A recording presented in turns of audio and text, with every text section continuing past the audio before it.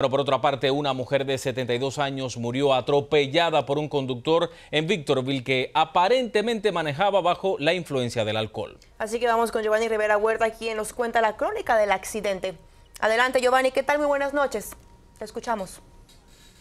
Así es que tal, muy buenas noches, Abel y Priscila. Nos encontramos en la ciudad de San Bernardino, enfrente del Buró de Investigaciones del Condado de San Bernardino, precisamente del alguacil del Condado de San Bernardino, donde esta tarde identificaron a la víctima eh, como una mujer hispana de nombre Sandra Padilla, de 62 años de edad, quien caminaba de regreso a casa después de hacer unas compras cerca de, de su misma vivienda, donde ella fue a comprar dos pizzas y leche de polvo para su nieto recién nacido.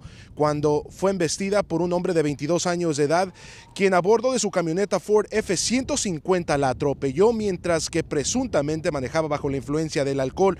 Los hechos se registraron la noche de ayer sobre la avenida Emerald en la ciudad de Victorville, pero esta noche sus, sus familiares de la víctima se reunieron en el mismo lugar donde el conductor identificado como Manuel Flores fatalmente atropelló a su víctima.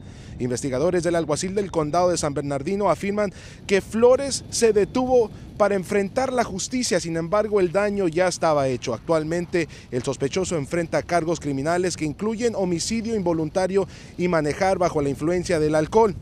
Las autoridades nos dicen de que de ser encontrado culpable, Flores pudiera enfrentar, escuche esto, una pena máxima de cadena perpetua.